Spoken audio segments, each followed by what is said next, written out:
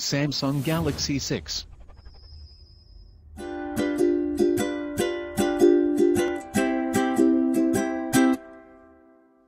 Interactive tutorials for Samsung Galaxy S6 grams 928. This video describes the emergency mode feature.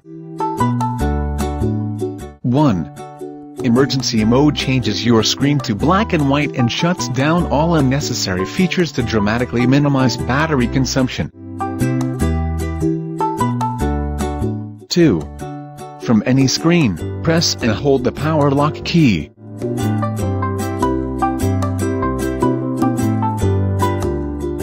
3.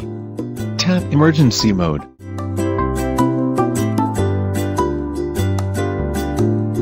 4.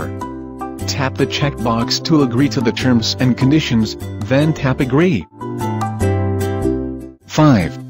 Tab turn on. 6. To add an emergency contact, tap more.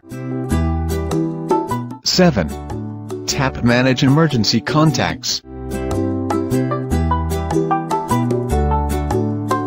8. Tap ADD. 9. Tap the desired option. Note, for this demonstration, tap Add Existing Contact. 10. Tap the desired contacts. 11. Tap Done. 12. To return to regular mode, press and hold the power or lock key. 13. Tap emergency mode.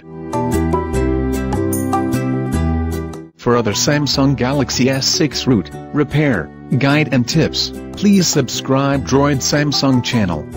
The link www.youtube.com slash droidsamsung.